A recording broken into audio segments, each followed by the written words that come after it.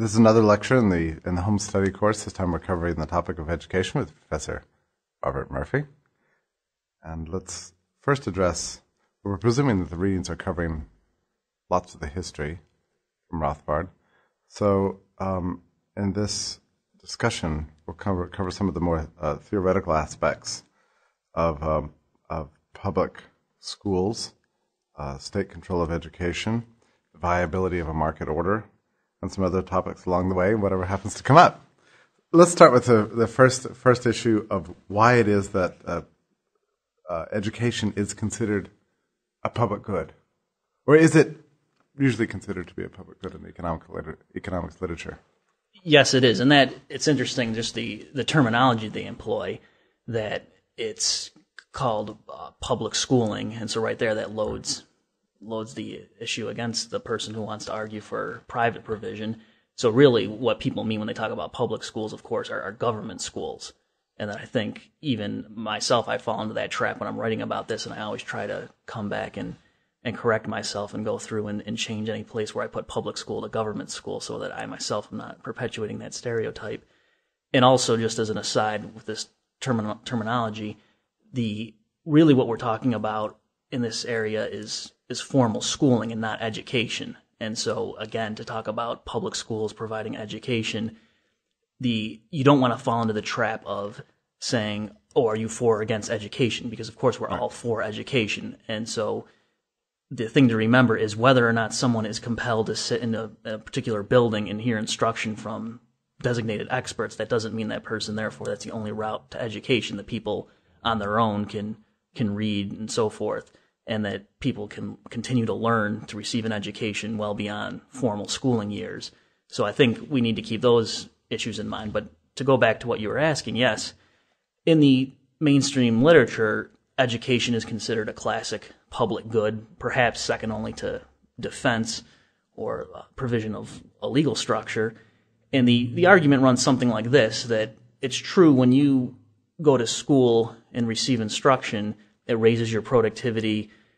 And so it directly benefits you, but it also has spillover effects, positive externalities on everyone else in the society. And so that's why it's in the public interest to both have uh, compulsory attendance laws and also to have state funding of education. That if there's a person who's too poor to go to college, for example, but yet that person's an excellent student and, and would do well, then the argument is, oh, we should use tax funds to send that person to college because it's going to benefit the rest of us as well.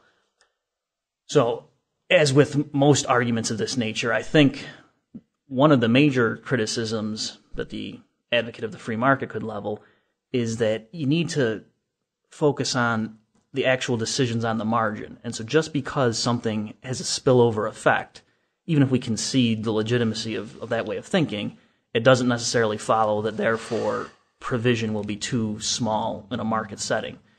Just to give you an, an, analogy, another example they often use is when it comes to vaccination. And the argument there is the government needs to force everyone to get vaccines because even though left to their own devices, most people would choose to do it, you're only narrowly considering your own selfish benefits and you're not considering, well, if I catch whatever this communicable disease is, then not only am I sick, but then I'm going to spread it to a thousand other people. And that the argument goes, if you were forced to externalize, internalize all those externalities, you would then choose to get the vaccine. Whereas left to their own devices, people are too uh, short sighted and too selfish to think like that. But if you think about that, it, it's true theoretically. You could devise some sort of model in which people are neglecting those those facets of the decision, but in reality, I think most people just considering my own benefit, do I want to get polio or tuberculosis? They're gonna get the vaccine, even though they're disregarding the fact that oh well, if I get this, then I'm gonna be a person to spread it on to others. And so, in the same way, when it comes to education, even if we concede that yes, of course, other things equal, if someone's educated, that's better for everyone else in the society as well. It doesn't follow that therefore that person can't be trusted to choose the level of his or her own education on their own. And so I think that that's the the primary objection to the public goods argument in terms of just the the theory of it is that on the margin people will choose to get education that for example literacy it's not as if people aren't going to, because of the benefits to themselves of becoming literate, that they're going to choose not to learn how to read, or that parents aren't going to teach their children how to read because they're neglecting the spillover effects to everyone else from having one more literate person in society. Yeah. And so that's, I think, the the the major theoretical problem with the public goods argument, and then of course just the practical ones that, for example, another it, it's it's really the same argument but a different way that they usually frame it is that they say there are benefits to having a responsible, informed citizenry. In a, Yeah. in a modern democracy, we need to have educated citizens, and that's why. Mm-hmm. And so we could go through that argument I just gave you, a more theoretical one, and, and say, well, is it really the case that you wouldn't want to be an informed citizen on your own and you need to be forced to? But even beyond that, just to look at in the real world, does anyone think that the U.S. educational system right now is churning out informed citizens who are making responsible decisions at the ballot box? And I think most people would agree that that's not the case. Just with the the anecdotes, the funny things we hear about how, what percentage of high school seniors knows where particular countries are on a map and Right. and what the U.S. Constitution is or what year it was signed and things like that. That clearly the system is not producing well-informed citizens, and so if that's the argument for so-called public education, then I think it's obviously been a failure. But one of the rejoinders to that is that, well, look, if you if you uh, uh, uh, reduce the amount of funding available for public education, you can only make the system worse. Right, you could say that about anything, just Yeah. as whenever a government program screws up, whether it's the war on poverty or inner city housing and so on, that they just say, "Oh yeah, it's because we need more money." Well, speaking of things you could say that about anything about, um, uh, I guess one of the Austrian criticisms of public goods uh, type logic is that if you construe a public, public good broadly enough, everything qualifies.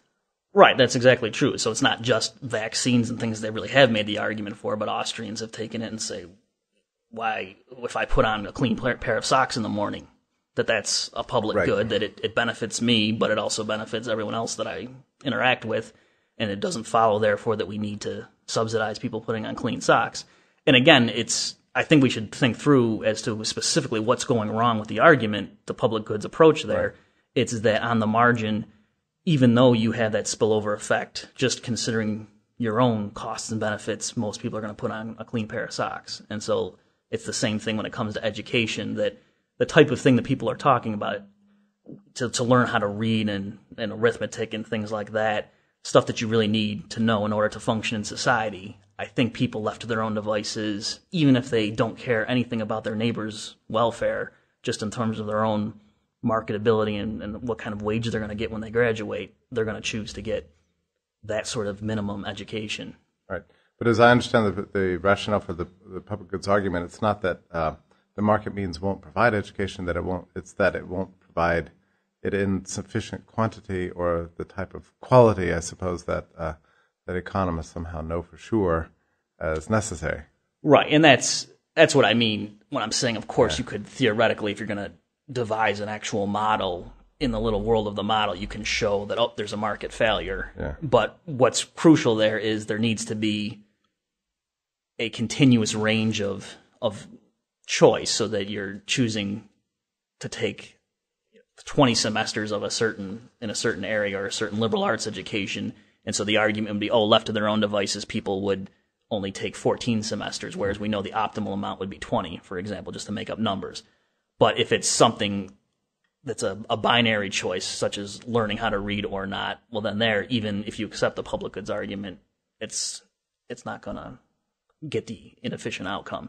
So it's it's not merely that the argument is contrived and that it does it's not realistic but even on its own terms it's, it has to be a very specific type of uh, decision where there's a whole continuous range of things and then the idea is the market underprovides but you're right that it could be applied all over the place in any aspect of life and we could find that there's market failures and everything I recall reading a, a, an unpublished paper by, by Murray Rothbard he had written as a, as a graduate student. He was uh, complaining that the uh, administration at the time, I guess it was uh, Eisenhower or somebody, um, had been going on about the uh, terrible shortage of, of mathematicians and scientists. You know that the that uh, that the education system is not providing that, and that there needs to be some sort of intervention. Uh, well, I mean, we still hear that today, Right. We're Just constantly, there's there's always somebody has a better idea about precisely what people ought to learn. Right, just everything in terms of research and development. I can remember even in graduate school that there were models of R and D, and of course, it was just obvious. Yale knew going into it that it was going to be the market can't do it correctly, and so it was. There's really a whole industry in mainstream economics of different ways the market can screw up, and by the market they mean decentralized decision making, where people decide things based on just their own costs and benefits. And it's ironic because it actually you have to be clever to come up with ways that the market screws up because in general with a price system people do what's the socially optimal thing going back to at least Adam Smith's formulation of the invisible hand. And so that's why it takes these clever PhDs at MIT to come up with all these models in which oh the market's going to fail here. But but of course it just begs the question of therefore since there's this theoretical market failure the government of course can identify it and we can trust the government to implement the solution. Right. Uh, well, the uh, the rigorous models aside, um, there is something like a public intuition that most people have that seems to suggest that education is is something like a service unlike any other. You know, that there there's a, a, popular view out there that that really can't imagine uh, that that uh, that even though education is very much in demand by, by everybody, it, it somehow wouldn't wouldn't be supplied. Right. That's true of a few other items. I think food and healthcare, and yeah. I suppose police services and firefighters and things of that nature that people just assume it's a it's a matter of human rights and that everyone is entitled mm-hmm. to an education and only a reactionary Neanderthal would say if you can't afford to go to college, then you shouldn't go, or that it's it's not my fault if if your parents aren't sending you to college or go get a scholarship, and if you can't, that's tough. That that sort of idea just would shock people, and so it's I think some of it is due just to the nature of education itself. It seems to be so important, and also it's such a laudable thing that people don't think that you have a a natural right to receive uh, cable television necessarily, although even that, as as we get richer, more and more people would say that yeah, you have a right to cable television. But there's something about education that it, who could possibly be against providing education to someone, and so I think that that's involved. But also just the fact that it it has been this way for so long now that people are brought up in that frame of mind, and just the idea of change shocks them. That if to have a, a private postal system, for example, that's an area where I think clearly the market would obviously outperform the current system because we have private alternatives, and yet people are just horrified. That, oh no, if that if that happened, then it would cost fifteen dollars to send a letter to Alaska. And I've, I've actually heard people make that argument. Someone who worked for the post office, coincidentally enough, but that's I think clearly something that's just due to the historical accident that that's been provided by the government, so people assume it has to. But with education, I think it is the historical accident, but also something about it that it seems so important, and it is important. And there's this idea that if something's that important, we can't leave it to the vagaries of the market right. because the market might fail. Whereas we know for sure, of course, government when it sets out to achieve something always always does it. Yeah, yeah I, I seem to remember in the, in the mid 1990s, just after the web browser became sort of uh, uh, commonly used, that it, it, only took a few months before the Clinton administration was arguing that there was a, a, a digital divide and that there had to be some sort of public provision of, of these uh, services. So it doesn't take that long, but fortunately the market out, outraced right. the public sector. Uh, and in education, it seems perhaps one of the re- reasons people have a difficult time imagining market provision of, of education across the board is that um, development has been has been hindered, you know, by by by the state in so mm-hmm. many ways. Right, that's true. That as in every other area, people look at things that are deplorable in the current situation and they assume that's due to the, the market and they don't realize that actually it's the result of previous government interventions. But this is a very interesting point uh, because one thing you, you notice about um, all debates about education and politics is that most everybody agrees in some sense that whatever time you're looking at, whether it's the 1920s, the 1930s, 40s, 50s, or now, that something is going wrong with education and it needs to be reformed. I mean, in my lifetime, I, can remember just three, four, five big rounds of educational reform. Right. right. Yeah, and they have all these proposals, things like standardized testing is big with the Bush administration now, and they're trying to to hold p- public teachers accountable. And you understand wh- why they they have this concern because there is certainly data to suggest that the so-called public educational system or system of government-run schools isn't performing by any standard up to an acceptable level. And so people wring their hands and they want to say, what can we do? And of course, it doesn't occur to anyone, well, let's just abolish the whole system. That's unthinkable. So given that we're going to have this system, how can we tinker with it?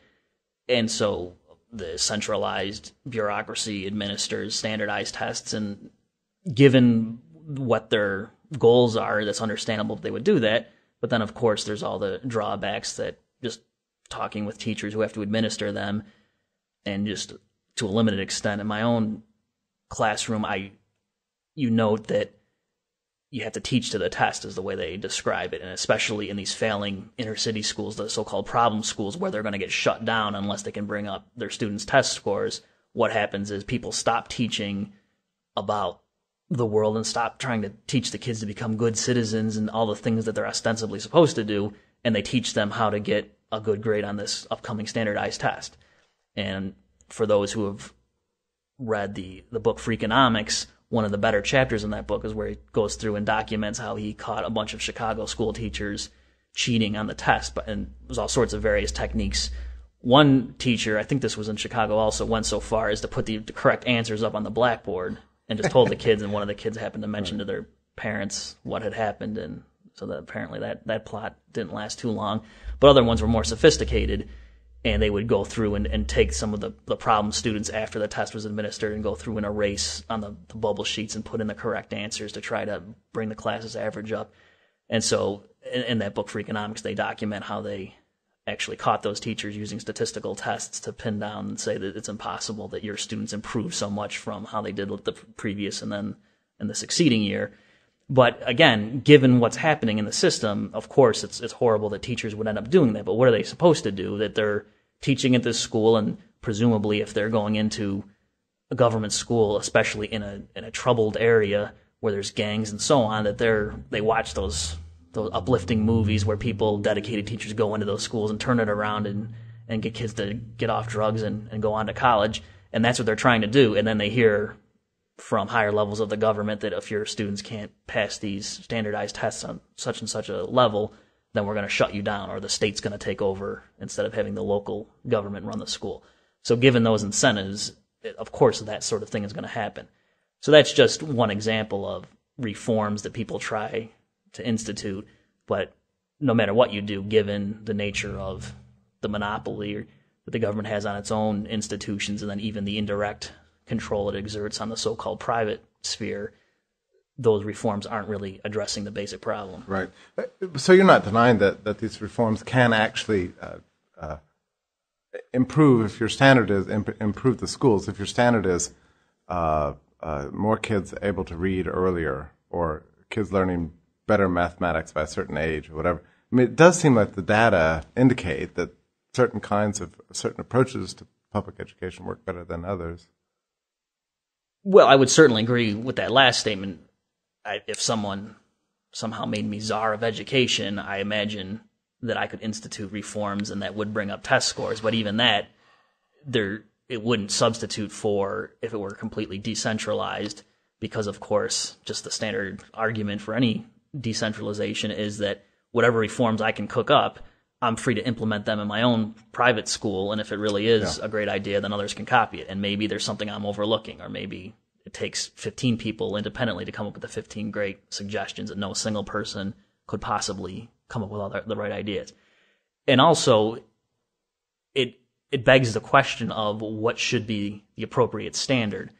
And so it's it's certainly true that if the government wants everyone to be able to do long division, I'm sure if they spend $100 billion and they threaten to fire teachers and and they give all sorts of subsidies to kids who can learn how to do long division so they can go on to college, that eventually mm-hmm. you could raise that number. Right. But you're raising it relative to the previous status quo, which was having a government run system where they didn't have all those incentives. So it's it's not hard to improve when you're starting out in an abysmal situation. It's not as if it would make more kids learn long division as would happen, I think, under a completely decentralized market approach. So there are probably in the 1940s in the Soviet Union there are better and worse ways to increase grain production too.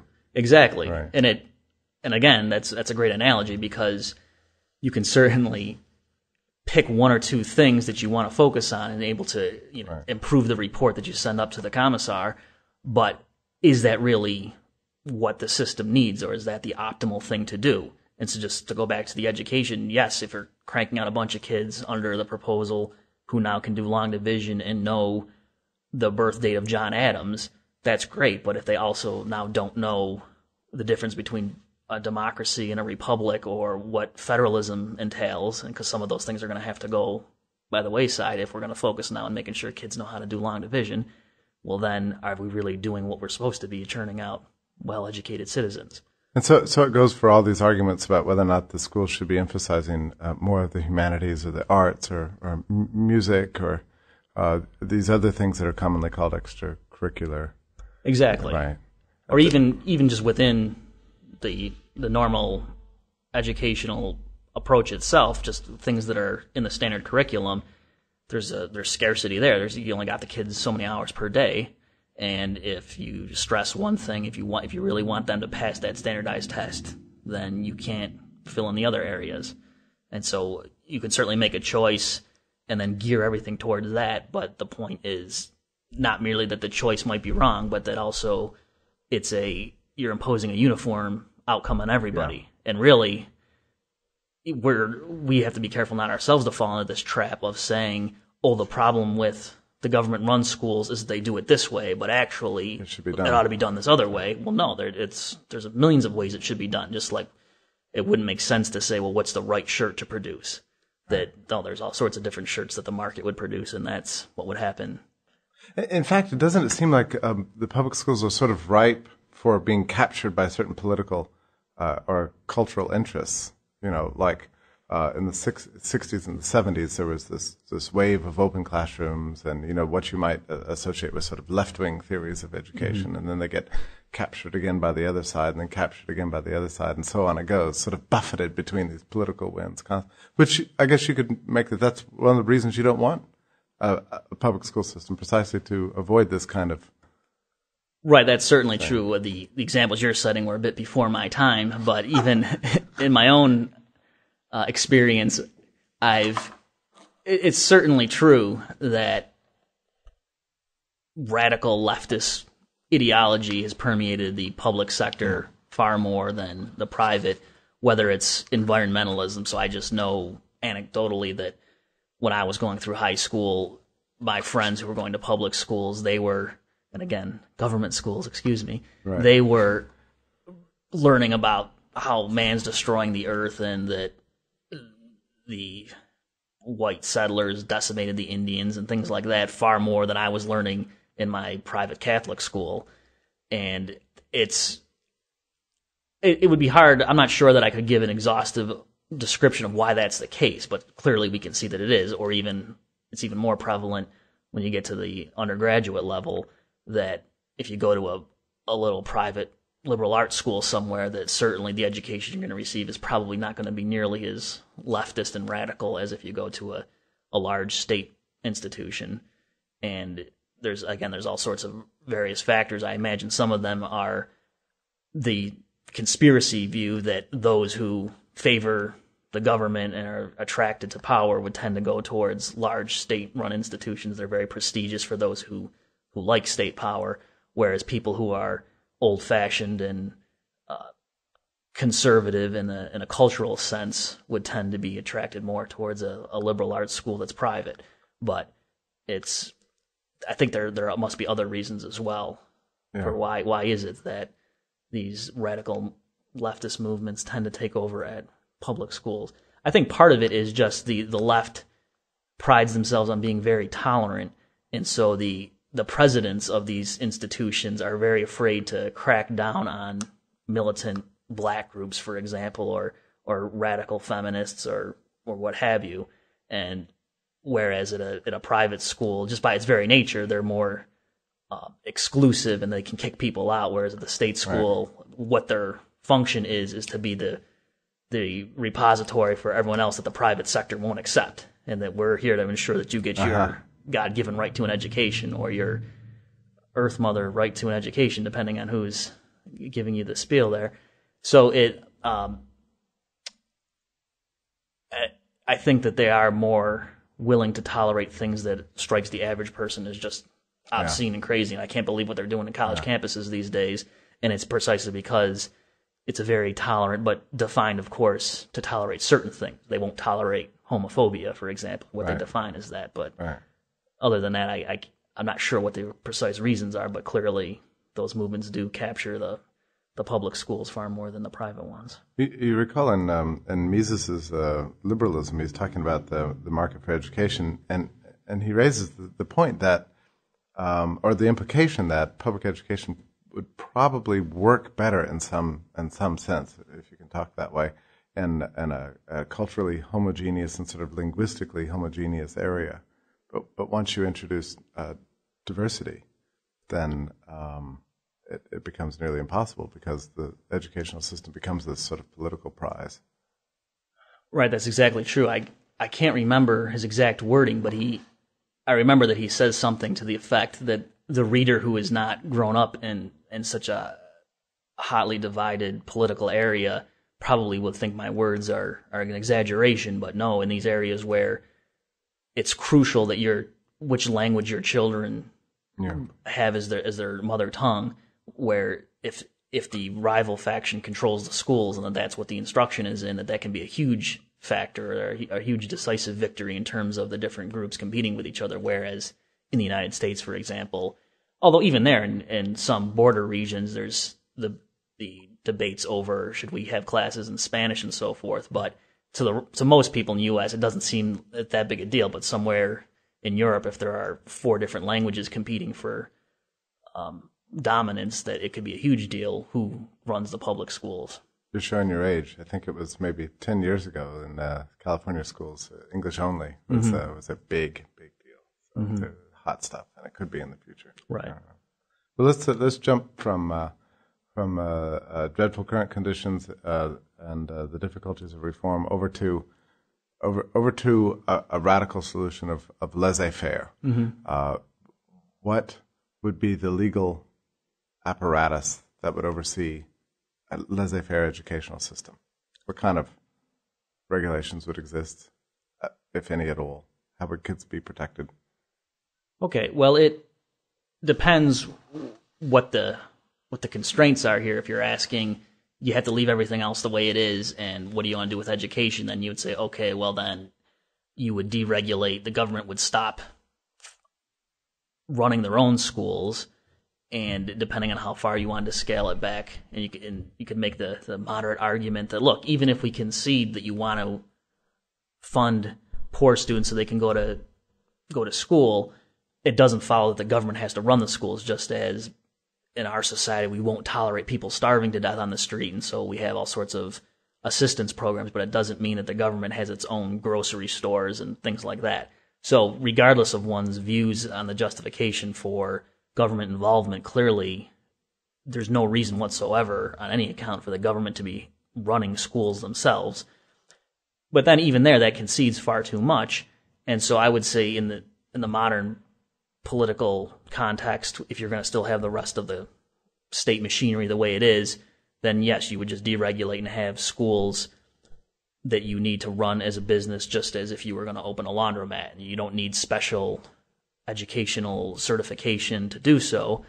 And of course, the the more radical solution would be just to get rid of the centralized state altogether, and then schools would be just as any other business would be regulated, and so there would be a a, a network of a private legal arrangement where you have private judges ruling, and that there that what you would have to do, and this would be the same really under both alternatives, is just honor your contracts, and so parents would or students who are paying for themselves would enter into contracts with people who would say we're going to instruct your children here or you yourself if it's the student paying for it and these are the conditions and you could do in principle you could do anything you want. And so some so-called schools other people would probably say they're not even a school could just watch they could watch soap operas all day. But the point is you don't need the government to come in and crack down to, to prevent that because pretty soon people who have a degree from this place where they really don't learn anything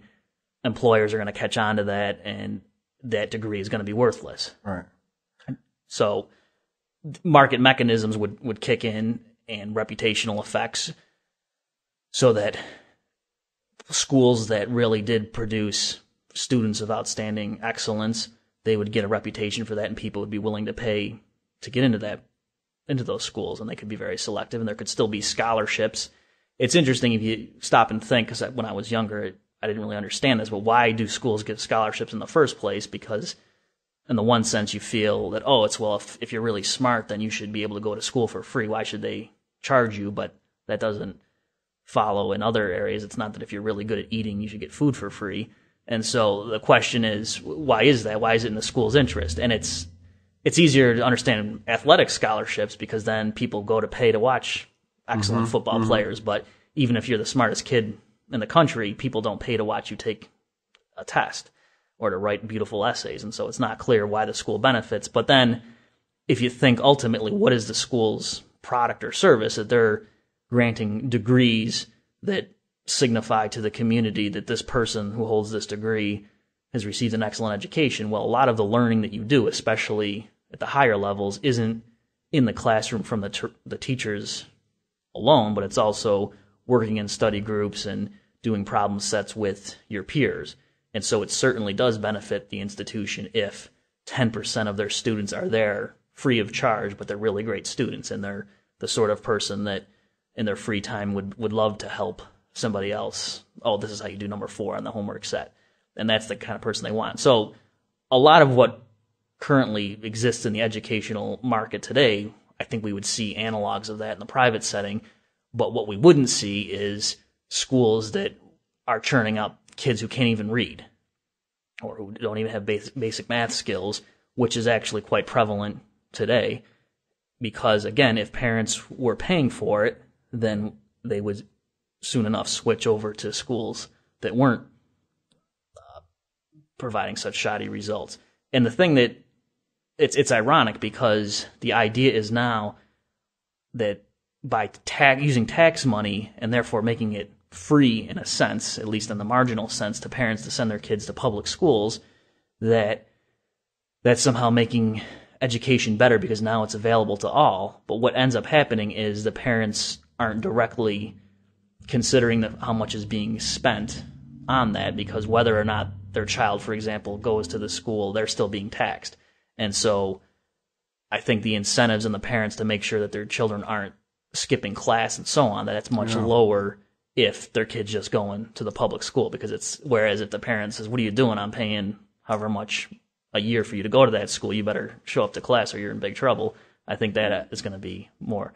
And the other major difference would be there would be no compulsory school laws. Right. And that, so this goes back to depending on how moderate or radical you are, that I think a moderate would say, okay, sure, we should, the government shouldn't run schools, but we could still have funding and we could still have, um, and we should still, of course, require that all students up to a certain age go to, go to school because that's just obviously necessary.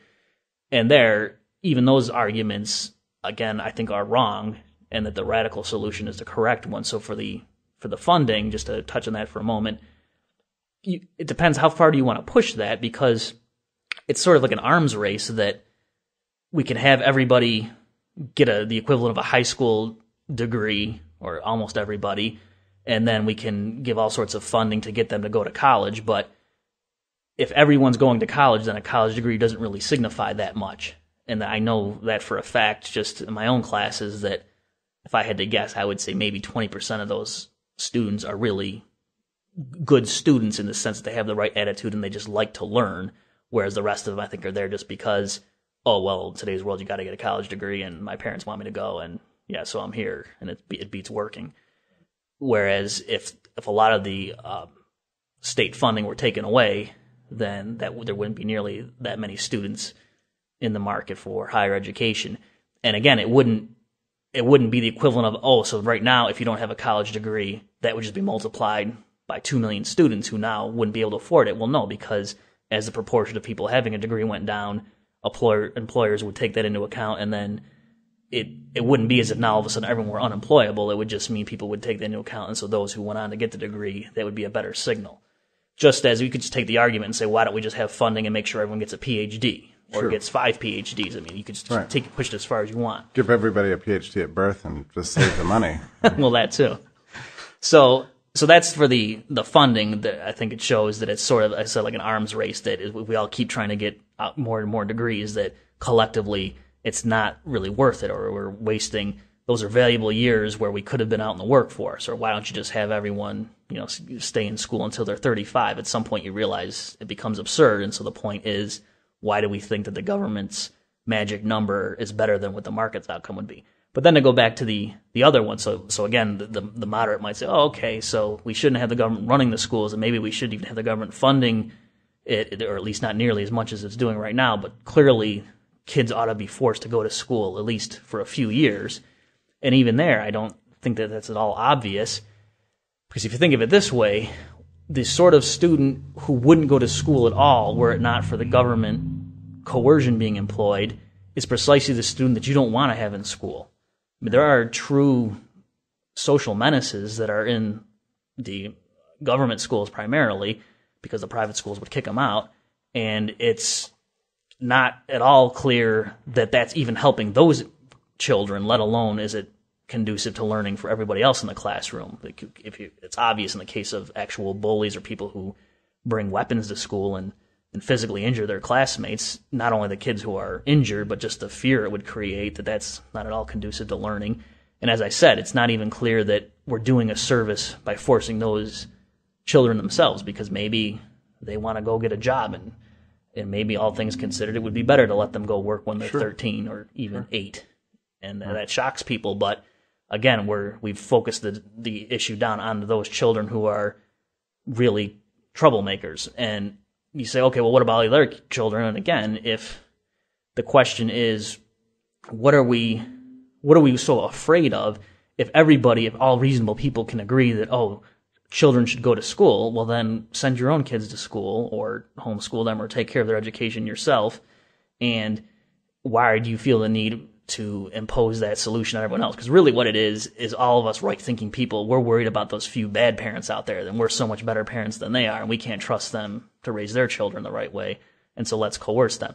But again, it's precisely the children from those problem families that it's not clear you're helping anybody by forcing them to go to the school. It's it's basically a mild form of prison that for your first, depending on the, the laws, 13 or up to 18 years of your life, you're basically forced to go to this building for a long portion of each day and, and sit there. And you, again, it's you're not learning if your attitude is such that you really do view it as a prison sentence. Right. Um, well, um, yeah, and I'm going to talk about some of the some of the uh, the booster clubs that are involved in public schools. There's interesting stuff going on about about that. But um, but to get back to the the way that that the education market would look. Now, you're not just to be clear, you're not suggesting that education would always and everywhere be a, a commercial thing plus scholarships, right? There are other things going on, other choices. I guess part of the difficulty is to imagine the way um, education would look in a market setting. It, it would be as if, uh, perhaps, as if groceries had always been provided by the state, and you and I are sitting here speculating what would what would uh, what would re- the retail food market look like under a market. You know, Right, that's interesting that you bring that up because I had a student from the former Soviet Union just two years ago, and she was describing what it was like to get food, and, and she said that th- it certainly wasn't that there was little grocery stores down the street for everyone, that people had to drive or take a train or what have you to go to the central distribution area to get their food and then go out because just from the the central planner's point of view, that's what yeah, it would be wasteful. Why would we build all these little dinky grocery retail stores all over the place when we can just have all the customer, all the citizens come to the centralized area? That's more efficient from their point of view. So I think that's a good analogy you bring up. And part of the problem is that we it's hard for us to picture what it would be like, and that's one of the benefits and the arguments for freedom is that no group of people can put out the blueprint for how the system ought to look. And so you and I can speculate, but yes, I think no matter what we come up with, we're not going to be fully capturing the the availability of all sorts of options to people in a free market setting. But there could be things, especially now with the internet, there could be all sorts of online instructions. There could be academic institutions, things like like the Mises Institute, for example. Now, part of the problem with the institute conferring legitimate degrees or certificates or what have you on people is that outsiders are going to think, oh, well, they're not an official school, or mm-hmm. you know, mm-hmm. they need to, and you can, of course, you can get the accreditation and so on, but there would still be this spell of you need to have a formal school to do something, and that in a totally free setting, I think that prejudice would be gone and people would realize that it doesn't matter so much how someone came to know something, but more what are the skills of this person. And so there could be all sorts of things, uh, the equivalent of uh, a, a, guild system, and not in the sense of restricted entry, but that people would go and be someone's apprentice and that learn a trade and then and move on. And who's to say that a child wouldn't be much better off doing that, working with a master carpenter from a young age, and then going on and you could say, well, how would he know about history and, and culture and, and, poetry? Well, he can, in his spare time, read that stuff, or he could even enroll in a particular class offered by some organization that specializes in poetry or what have you. But again, it's really what people are afraid of is that people are going to choose things that the critics don't approve don't of. Like. Yeah, yeah. Um, you know, I've wondered sometimes. Home, homeschooling is, is, is booming, and it's mm-hmm. just it's just wonderful. Uh, but but but these days, it's almost as if you have to the, the the market is so restricted that you either have to look like a regular school in the sense that uh, the state approves of. I mean, the regulations concerning schooling in Alabama, how to run a public school, uh, it really looks like the Gosplan. I mean, mm-hmm. just just endless pages of, of detailed regulations. Or you can secede from that entirely and just stay at home and have mm-hmm. have just a completely domestic based education. Um, which, for all its merits, does raise questions about the extent to which homeschooling uh, employs basic principles about the division of labor, for example. Right. You know, so um, uh, so the in between stuff it seems to be what's missing mm-hmm. today. You know, the subdivision school. You know, uh, exactly. Uh, yeah. Yeah, that's it's a good point you raise, and it, because on the one hand, I, I'm torn because on the one hand, with an economics background, it does seem odd that that parents would be teaching their children individually in their own households for so long, especially if both parents are are productive and they could be out working. That from a certain point of view, it seems, oh, isn't it more efficient for the parents to go out and earn the money and then pay someone else to train their child?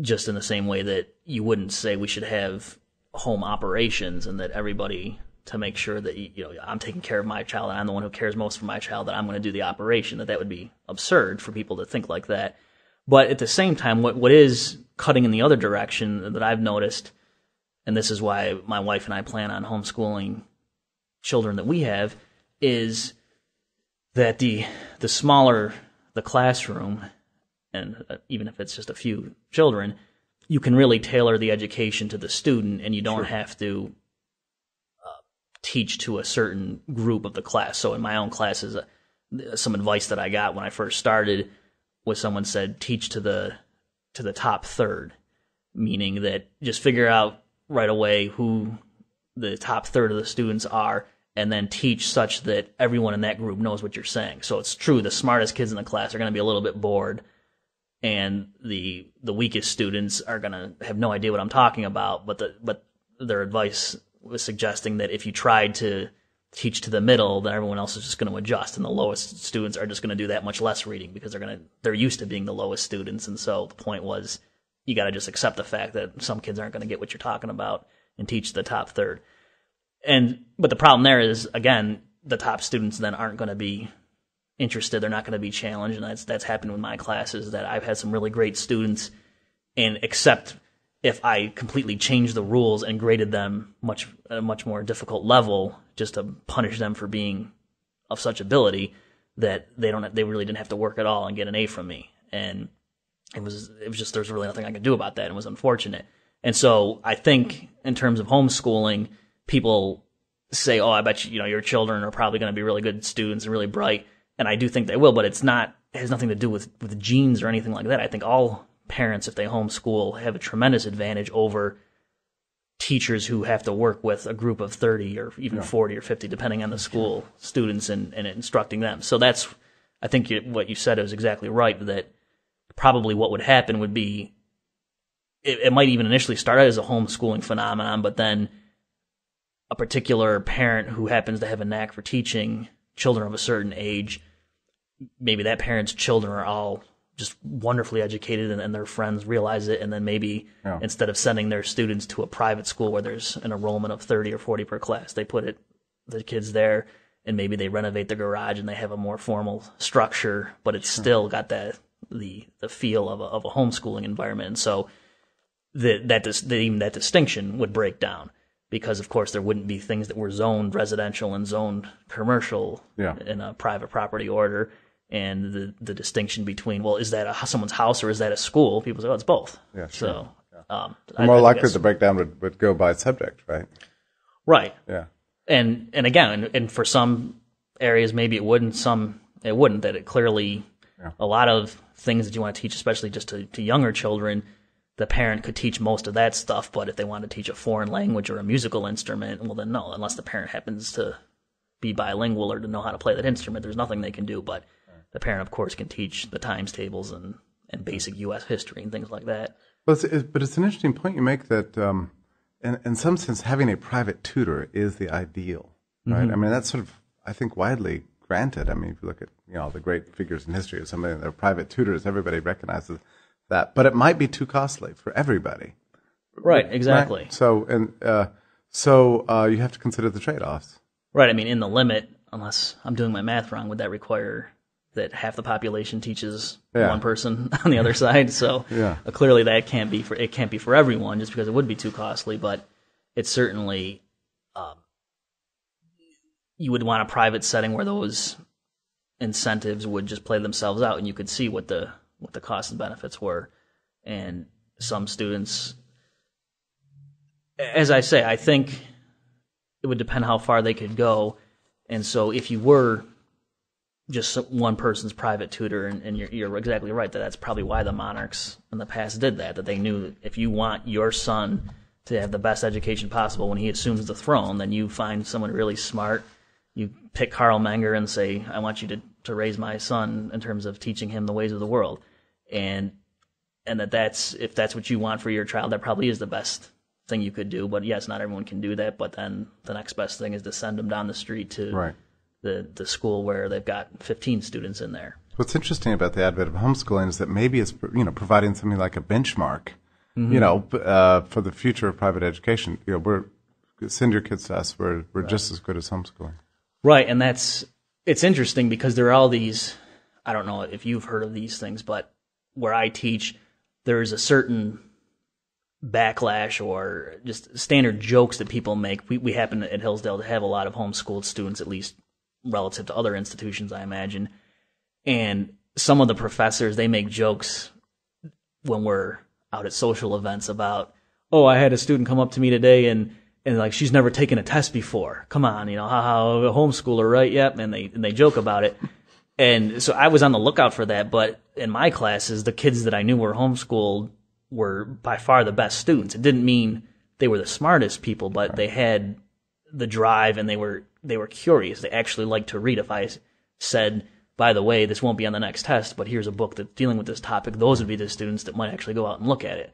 And so it's it's true that this issue of the division of labor, that the randomly picked parent isn't as educated as the randomly picked teacher, probably in most of those areas, but nonetheless, just the difference of incentives and the fact that they get to lavish their attention on the one or few children that they really care about, namely their children, and also that again you can tailor it so if, if your child is having difficulty with a certain topic, you can spend more time on it, and so it's not even a, an issue of a sort of selection argument that oh the parents who are who homeschool tend to be more concerned about education and so therefore that's why their children tend to do better which i think is a valid argument and is true. But even all else equal if you can tailor the instruction to an, an individual they're going to do better. You know, I, I do. You do detect a lot of public resentment against homeschoolers, and it, and it, it does strike me that part of the reason is that homeschooling is something of a luxury good that uh, a you know, pretty small segment of the population can sort of purchase in some sense with the opportunity costs of, uh, involved. Um, but um, but I mean, be, but in a sense, you know, like Mises makes the point about luxury goods that you know under the right market conditions, Right. they can be spread democratically. Right, that the the function, if you want to use that word, of, of luxury consumption is Yeah. for the the rich to experiment and to find what is the, the sort of thing that would be that would appeal to a mass market, and so that the massive consumers can see the rich guy with a color TV and say, "Wow, I'd like to get one of those." And then the, the companies know if we can figure out a way to produce it on a mass scale, it'll be profitable.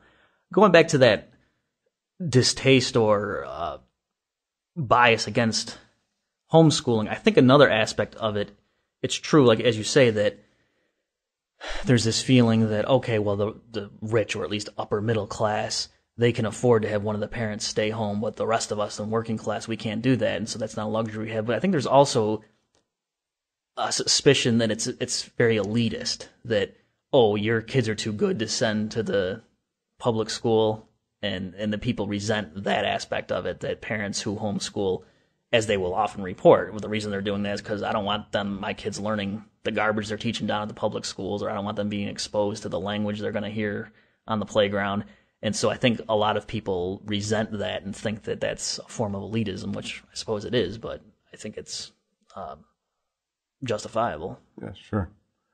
Um, um, you raised a point about the financing. It prompts me to ask um, about um, some of the proposals for reform um, include uh, something like charter schools, which you mentioned earlier, but also vouchers, which appeals to a certain intuition that many people have that uh, that it, it's kind of crazy for all families to just pay the same amount for the public schools, whether they have kids or not, uh, through their property taxes. Uh, That there's a, a better way to uh, more closely connect the running of schools with the paying for the schooling, and that the, the voucher system is one way to do that, and that would introduce a kind of competitive element into the existing public structure. Mm-hmm. I mean, it's market economists who are promoting this. right People who understand incentives. Right. This is the type of argument where people are going to be accused of being purist and unrealistic and they don't understand the political situation. So, my take is I'm against vouchers and I have written on that. I understand where the advocates are coming from. So the problem is the the major danger that I see is that it would just be another way for the government to regulate even the what remains of the private sector all the more so. And so specifically the the route would be that in order for a school to qualify to get those vouchers, they would necessarily have to pass some set of requirements that you couldn't have the the building that where you go and you just watch soap operas all day and oh you're going to get tax money to have your children go there that of course isn't going to happen and so there must be some list of requirements criteria that a school would need to pass in order to be eligible to receive these vouchers And by the way, that seems to make sense. I mean, as a taxpayer, I don't.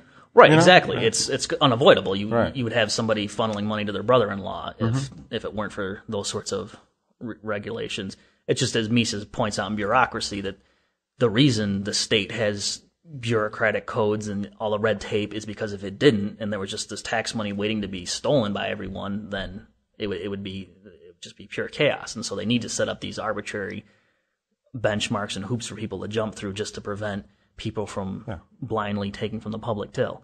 Right. So, given that, then the government is just going to have yet another means of regulating the private sector. Now, people say pro voucher, the pro voucher side, they'll come back for that sort of argument. Say, look, right now the government has the legal mechanism by which they can regulate the curricula and so forth of private schools, so vouchers wouldn't give them anything they don't have right now.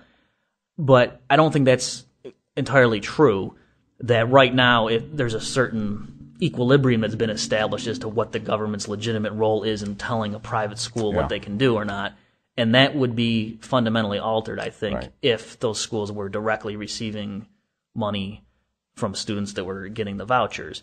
And it and again, people say, well, what about busing and things like that? That the bus that takes the kids to the school that's paid for by the government often, and and so on. But again, there's I think it's just a fundamental difference. And you could even push that further and say, well, if the if the president declared martial law, there's all sorts of things he could do, and that doesn't mean therefore that anyone who raises a worry about the government's encroaching power, it would be silly to say, oh, well, right now, if Bush declared martial law, he could do He that could anyway. that. So this Right. measure, there's no danger implicit in it. That so the the fact is just because on the books right now the government could tell a particular school we don't want you teaching anything that that disparages the Republican Party that even though legally they could do that there would be a public outcry and they would say what are you talking about you can't do that that's crazy whereas I think if the government is funneling millions of dollars to a particular place and then the taxpayers don't like what's happening there they could Sure. truthfully say, wait a minute, my money is going to support that school, and so I don't want people teaching that. That's crazy. Demand accountability. Right. Right. So that's so I think that's the major problem with vouchers. And then Lew Rockwell and others have picked up on the point, brings up the argument that what good public schools there are, because in certain, especially affluent neighborhoods, there Right. are public schools that they're not horrible or they're not the, the nightmare image of gangs running around and, and kids not learning how to write by the time they graduate. That that could very well be wrecked if they don't have any means of excluding Yeah. people from other communities coming in there because they're backed up now with voucher money. And so the the point is that it, I think it's the exact opposite of the proponents think that by introducing more what I would call pseudo competition, that's going to raise the bar and force the public schools to improve their standards. But I think the opposite would happen. I think it would just wreck the what standards remain in the private sector, and that there would no longer be this distinction between public and private, even as dubious right now as that distinction is for all sorts of reasons. That that would just be weakened even further. And if if one concedes that, I think it's naive to assume what's going to happen is the excellence is going to pervade the government sector rather than the other way around. That the government's incompetence is going to influence the private sector. No, the, the response to that is, well, look, if you're a private school and you don't want to take vouchers, you don't have to. That's true. Again, I think there's going to be a problem with, first of all, just being short sighted that the people running the schools, as much as we would like to think, aren't necessarily well versed in classical liberal tracks. And it's, they might be thinking more of, wow, there's all this extra money, all these extra customers we could be getting. And probably the effects of the vouchers wouldn't really kick in until several generations down the road. And so I don't think that necessarily the people running the schools are going to be making that sort of political calculation. Right. Just as you could say, if, for example, the Social Security privatization proposals, one of the major political dangers of that is to say, well, look, if if we're funneling billions of dollars into the stock market, don't you think the government then would be able to lean on certain corporations because of that? And of course, you could say, well, the, the those corporations could refuse to accept the government money, but I think that would be naive to expect that. And so the same thing with the education, and also just that if your competitors are accepting voucher students, then you're going to be at a disadvantage. Sure. And so, and and even so, perhaps there would be a few handful of schools or more people would go into homeschooling, but nonetheless, certainly plenty of people would accept voucher students.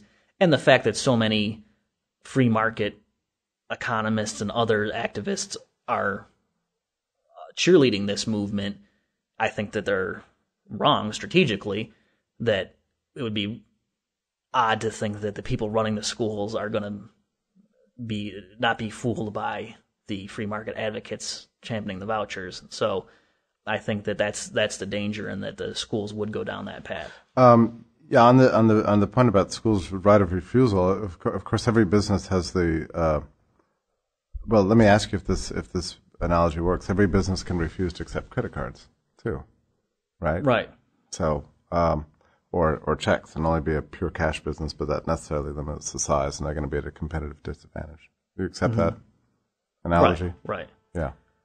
Right, and just even in, in higher education right now, that Hillsdale and I I think it's a few other places, one of its its selling points that it, it it makes when it tries to get money from conservative donors is that we don't accept government money. Yeah. And and what that refers to is back when the government required schools to report on their racial statistics of their student body, Hillsdale refused, and the ruling was that if you have a student going to your school that in any way receives federal aid, well then you're a recipient of federal money and we can regulate you. And so that's why Hillsdale adopted that policy. But the point is that it was a very difficult move because given that all the other schools are accepting students, well then they can have gorgeous sports stadiums and they can have enormous libraries. And if you want to, um, my wife, for example, wants to study psychology and going to Hillsdale, they don't have a very big lab and they don't have all sorts of money for running tests and things like that and running experiments on rats and all sorts of things like that. And so at these huge state schools or even private schools that are willing to accept the federal funding or other state funding, the product they offer in many respects is superior because they're backed up by so much money. And so the the point is yes, there could be a few outposts who cling to their independence and refuse to accept voucher students, but again, I I don't think that that's going to stop the trend and I think overall it would be the case that vouchers would hurt the private sector more than they would raise the public sector. Yeah. Um, uh, one wonders then what the uh, realistic means of reform in the future will be. If if you look at something like the mails, um, you know, there's a time when the only way to get uh, information from one person to another was was sending it, giving it to a government bureaucrat and having them deliver it. But in the meantime, I guess innovation, private sector sort of ingenuity, uh, technology, all these things have worked together. So now we have many options, even though the law was really never changed. Do you, do you know what I mean? Right. Uh, So, so you could have you know, Federal Express and UPS and every, you know, email and all the rest of it. So, you, you know, you wonder if maybe the future of education might, might follow a similar path. Oh, I think definitely. Just the rise of alternate forms of education, just the the cost of certain publications gets lower and lower. Things more and more things are on the internet now, and there's beyond just the availability. There's also places such as the Mises Institute that that their whole function is to package and distribute that information in ways that the consumer can can readily digest. And then there's also different hierarchies so that you can certify in a in a voluntary sense the product that you're selling so that people know okay is this is this website I'm going to is this just some wacko's website as homepage or is this something I can trust the information? And people who are new to the internet or just heard it described would probably think there'd be no means by which you could tell if something were legitimate or not. But yet as everyone who uses the internet Yeah. knows you can tell pretty know. quickly. If somebody sends you a link with some crazy news story you can tell pretty quickly is this legitimate or not if it's you know something like the New York Times or whatever that you know at least it's gone through official channels and it's not someone making something up necessarily. But um whereas if it's it's something you've never heard of and it just looks sloppy. So there's there's built-in mechanisms by which people can can evaluate the content. And again things that you could go to institutions and receive certificates and other sorts of designations to, to show to others that I received this type of training and just more on the job training. It's this is obvious stuff, but most of what people do in their day to day life is not necessarily something they learned in calculus class in eleventh grade. Yeah. Oh, yeah. I'm going to get back to that as, as a last point, but before we get to that, um, but just an observation on uh, some ways in which maybe public schooling is currently sort of being privatized and piecemeal. If you look at booster programs, they're mostly all private money. Mm-hmm. There's sports programs and music programs and chess clubs and choirs and all the rest of it. There's a lot of parental involvement. And those are the parts of public schools that work best. Exactly. And that also ties in with the one of the fundamental problems of government schooling is this issue of once everything is going through the government and it's the community's decision, then there's all these conflicts that arise. And so I remember in my hometown of Rochester, New York, there was an issue that the the school budget was insufficient. They were they were in the red, and they were going to threaten. And I'm sure people have heard this story all over and over that oh, if we don't raise taxes, property taxes, then we're going to have to shut down the buses and we can't get kids to go to school anymore. We're going to have to take away football. And that was what they would do instead of saying we're going to get rid of all these mid-level managers or all these bureaucrats involved with the public educational system. They were going to, oh, there's going to be no football this year unless you guys raise your taxes. And so because of ridiculous things like that, yeah, there were private initiatives and, and local restaurants would sponsor the football team and things like that. And so they would get the money somehow. And again, just the, the private sector filling the gaps to avoid these absurdities. But the whole conflict there being caused by the fact that it's the community making these decisions.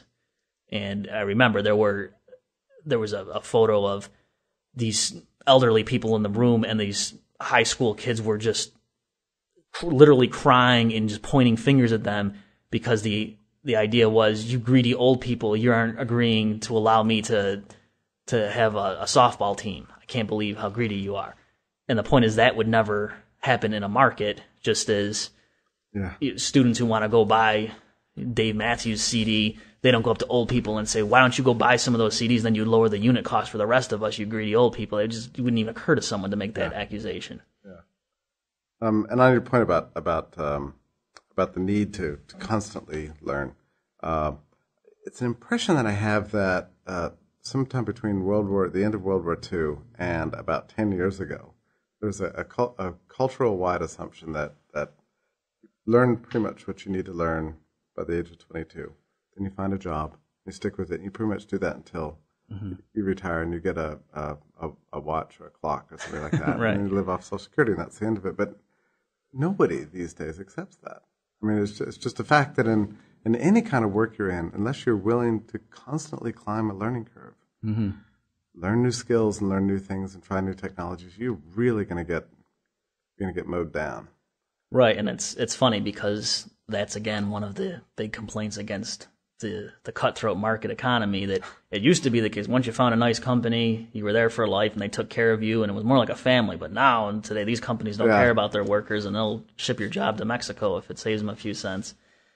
And it's just, I think, of course, the a healthy trend that yeah. the U.S. economy is no longer as, as dominant as it used to be, and that's a good thing yeah. for both the consumers and the the shareholders of those companies, and even the workers, to the extent that they are motivated to learn new skills and to find their proper niche in the global economy. Yeah. And so you're you're exactly right. The people now are expected to continue learning. You might work at six different areas in your life, right? Whereas before, once you found the company you were going to stay in, you liked their health benefits, and that's where you were till you died. Yeah, probably probably the future is going to look a lot more like um, like it was before World War II, you know, where there was constant innovation. It was just assumed that you had to work your whole life, for example, mm-hmm. and, and you had to learn your whole life. Right. Yeah. One point that you mentioned before that I wanted to come back to was painting the picture of how would a, a completely free educational mm-hmm. market look like. You talked about financing. One thing I forgot to mention was you could still receive loans, student loans, and because again, what's the the rationale for publicly funding students is that oh well once it'd be absurd for some poor student off the street who's a genius to not be able to go on and get a higher degree.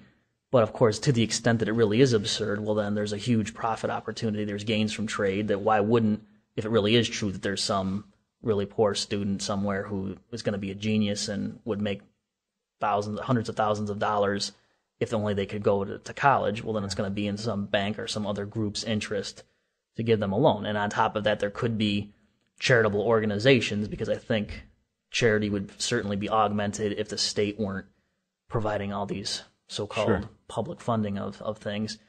And so to the extent that we as a society will not tolerate kids not being able to go to school, well then fine, there would be presumably schools even just out of goodwill would probably let local students in for free because mar- the marginal cost of teaching somebody right. arithmetic is fairly low or people who wanted to set up endowments to fund scholarships for certain students just not because it redounds to the benefit of the of the institution but just because they feel like that's something good that ought to be done sure. they would be able to do that and they would have at least twice as much income tomorrow to do it if the government would stop stealing their money. It it it, it does strike me that there's a, a, number of things that we notice are heavily in political demand. You know, for mm-hmm. example, you know, assisting the poor mm-hmm. with making sure that they get a good education that in a free society, in a, in a purely laissez faire system, would be converted to a, not a political demand, but to a market demand in a way. Exactly. That would be, uh, in other words, as you said, we as a society would not tolerate. Right. And it's and it's not merely that your money is being taken from you right now and so you have Yeah. that much less to spend, but also the resentment that as I think it was Ebenezer Scrooge says something to the effect when they, Yeah. they ask him for a donation, he says, No, aren't there doesn't the government take care of there? Isn't there a dole or something? So it's uh, the whole mentality would be different in churches and other organizations because that's the thing even I fall into this trap myself. You don't want to picture it just as a pure um, business transaction where there's just paying customers and that's it. There could also be third parties, charitable organizations, endowment funds set up in and church groups and s- civil groups and things, all sorts of things like that. The only difference would be they couldn't take their funds at gunpoint from someone else. That's the only thing that wouldn't be there. And Yeah. and yet everyone says, no, no, that system would be unthinkable. That what sort of horrible society would that be where you can't raise funds through force? Okay, well, very good. Well, thank you so much. Thank you. And it's contrived, and that it does. It's not realistic, but even on its own terms, it's, it has to be a very specific type of uh, decision where there's a whole continuous range of things, and then the idea is the market underprovides. But you're right that it could be applied all over the place in any aspect of life, and we could find that there's market failures and everything. I recall reading a, a, an unpublished paper by, by Murray Rothbard he had written as a, as a graduate student. and He was uh, complaining that the uh, administration at the time, I guess it was the Eisenhower or somebody, um, had been going on about the uh, terrible shortage of, of mathematicians and scientists. You know that the that uh, that the education system is not providing that, and that there needs to be some sort of intervention. Uh, well, I mean, we still hear that today, Right. We're Just constantly, there's there's always somebody has a better idea about precisely what people ought to learn. Right, just everything in terms of research and development. I can remember even in graduate school that there were models of R and D, and of course, it was just obvious. Yale knew going into it that it was going to be the market can't do it correctly, and so it was. There's really a whole industry and mainstream economics of different ways the market can screw up, and by the market they mean decentralized decision making, where people decide things based on just their own costs and benefits. And it's ironic because it actually you have to be clever to come up with ways that the market screws up because in general with a price system people do what's the socially optimal thing going back to at least Adam Smith's formulation of the invisible hand and so that's why it takes these clever PhDs at MIT to come up with all these models in which oh the market's going to fail here but but of course it just begs the question of Therefore, since there's this theoretical market failure, the government, of course, can identify it, and we can trust the government to implement the solution. Right. Uh, well, the uh, the rigorous models aside, um, there is something like a public intuition that most people have that seems to suggest that education is is something like a service unlike any other. You know, that there there's a, a popular view out there that that really can't imagine uh, that the goods uh, type logic is that if you construe a public public good broadly enough, everything qualifies. Right, that's exactly true. So it's not just vaccines and things they really have made the argument for, but Austrians have taken it and say, why, if I put on a clean pair of socks in the morning, that that's a public Right. good, that it, it benefits me, but it also benefits everyone else that I interact with. And it doesn't follow, therefore, that we need to subsidize people putting on clean socks. And again, it's, I think we should think through as to specifically what's going wrong with the argument, the public goods approach there. It's that on the margin, even though you have that spillover effect, just considering your own costs and benefits, most people are going to put on a clean pair of socks. And so it's the same thing when it comes to education that the type of thing that people are talking about to, to learn how to read and, and arithmetic and things like that, stuff that you really need to know in order to function in society. I think people left to their own devices, even if they don't care anything about their neighbor's welfare, just in terms of their own marketability and, and what kind of wage they're going to get when they graduate, they're going to choose to get that sort of minimum education. Right. But as I understand the, the rationale for the, the public goods argument, it's not that uh, the market means won't provide education, that it won't, it's that it won't provide it in sufficient quantity or the type of quality, I suppose, that, uh, that economists somehow know for sure as necessary. Right, and that's that's what I mean when I'm saying, of course, you could theoretically, if you're going to devise an actual model in the little world of the model, you can show that, oh, there's a market failure. Yeah. But what's crucial there is there needs to be a continuous range of, of choice so that you're choosing to take 20 semesters of a certain, in a certain area or a certain liberal arts education. And so the argument would be, oh, left to their own devices, people would only take 14 semesters, whereas we know the optimal amount would be 20, for example, just to make up numbers. But if it's something that's a, a binary choice, such as learning how to read or not, well, then there, even if you accept the public goods argument, it's it's not going to get the inefficient outcome.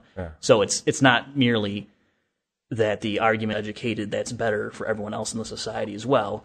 It doesn't follow that therefore that person can't be trusted to choose the level of his or her own education on their own. And so I think that that's the the primary objection to the public goods argument in terms of just the the theory of it is that on the margin people will choose to get education that for example literacy it's not as if people aren't going to because of the benefits to themselves of becoming literate that they're going to choose not to learn how to read or that parents aren't going to teach their children how to read because they're neglecting the spillover effects to everyone else from having one more literate person in society Yeah. and so that's, I think, the the the major theoretical problem with the public goods argument. And then, of course, just the practical ones that, for example, another it, it's it's really the same argument, but a different way that they usually frame it is that they say there are benefits to having a responsible, informed citizenry. In a, Yeah. in a modern democracy, we need to have educated citizens, and that's why. Mm-hmm. And so we could go through that argument I just gave you, a more theoretical one, and, and say, well, is it really the case that you wouldn't want to be an informed citizen on your own and you need to be forced to? But even beyond that, just to look at in the real world, does anyone think that the U.S. educational system right now is churning out informed citizens who are making responsible decisions at the ballot box? And I think most people would agree that that's not the case.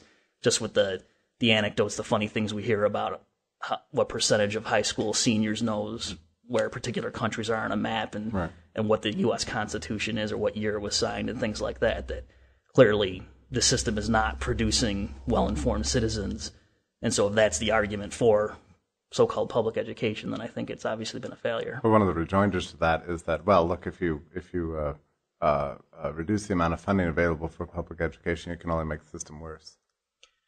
Right, you could say that about anything, just Yeah. as whenever a government program screws up, whether it's the war on poverty or inner city housing and so on, that they just say, "Oh yeah, it's because we need more money." Well, speaking of things you could say that about anything about, um, uh, I guess one of the Austrian criticisms of public the the argument runs something like this that it's true when you go to school and receive instruction it raises your productivity and so it directly benefits you but it also has spillover effects positive externalities on everyone else in the society and so that's why it's in the public interest to both have uh, compulsory attendance laws and also to have state funding of education. That if there's a person who's too poor to go to college, for example, but yet that person's an excellent student and, and would do well, then the argument is, oh, we should use tax funds to send that person to college because it's going to benefit the rest of us as well.